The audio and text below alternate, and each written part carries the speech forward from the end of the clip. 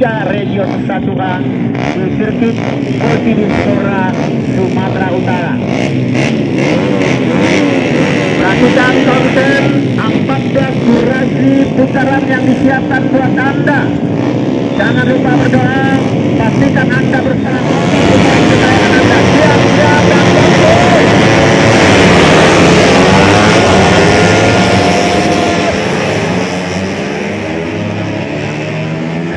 putaran awal, mereka seperti lumpuh berada di atas motor mereka masing-masing dengan Yamaha dan Honda di sana tentunya berpacu. Kita lihat antara dua ATPM yang selalu meramaikan suasana balapan di Indonesia. Kita lihat bagaimana. Oh, masih mencoba beradaptasi, menjajaki satu dengan yang lain. Masih melihat bagaimana racing lead. Oh, hahaha. Tentunya pembalap paling depan tidak akan memberikan kesempatan. Kita lihat di sana 23 Muhammad Jurik Akila Jandeta, Leonard Anugrah. Sementara kita lihat Abda Gamindra. Oh, dapat sekali. 10 peserta. Putra-putra terbaik ada 10 berlomba di sini kita lihat awal yang baik dan mulus sekali tikungan pertama. Di sana mereka bersama Pirelli.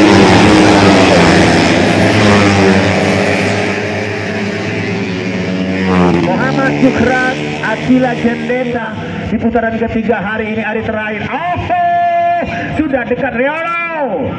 Ternyata belum mampu untuk bergeser ke posisi terbaik saudara-saudara. Sementara di posisi yang ketiga ada Naufal Galang R, Reti Triyugo dengan motor Honda saat ini berada di posisi yang keempat tetapi belum sangat-sangat nyaman karena posisi ketiga dan seterusnya hanya jarak beberapa meter saja.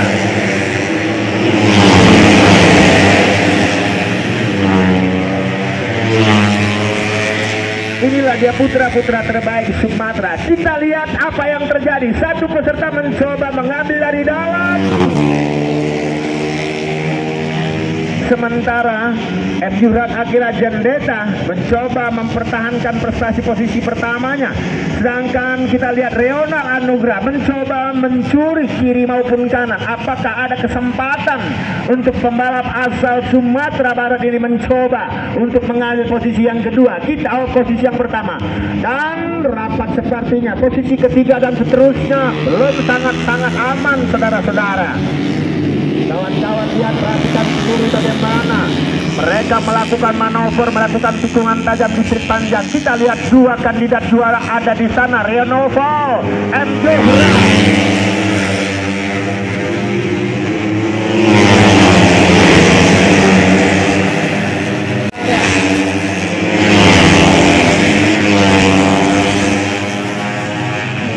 Kita lihat raut-raut ketegangan daripada manajer dan owner. Sambil berdoa mungkin mereka kita lihat apa yang terjadi di sana.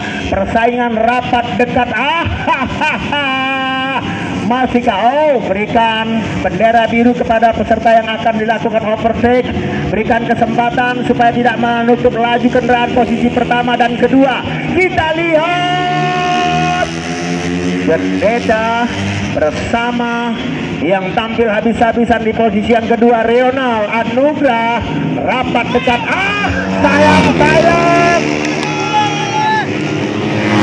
Yang kedua Reonal Anugrah. Rapat dekat. Ah sayang sayang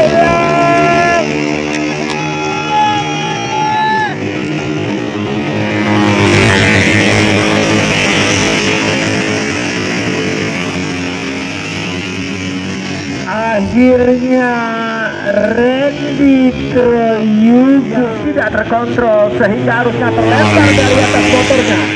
Dan sebelumnya tadi dia sudah sangat rapat dengan peserta yang berada di posisi yang ketiga saudara-saudara.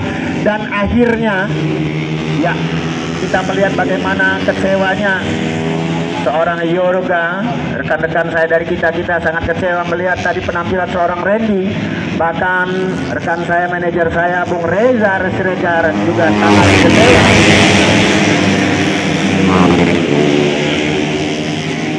Tibalah kita di, penghujung balapan. Tibalah kita di akhir balapan. Inilah yang terbaik di race yang kedua. Inilah yang terbaik di race yang kedua.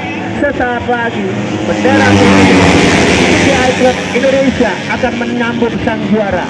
Sesaat lagi Bendera finish dari CKI Club Indonesia akan menyambut mereka. Masihkah ada Muhammad Jufrat Jandeta? Apakah masih bertahan di sana? Oh, Rional mencoba mencari peluang. Dua pembalap menggunakan motor Yamaha ini bersaing ketat sekali saudara-saudara. Tinggal akhir-akhir balapan kita akan tunggu aksi mereka. Apakah Rional Anugrah Apakah Jendeta memblokir dan inilah dia akhirnya di panjang Pirelli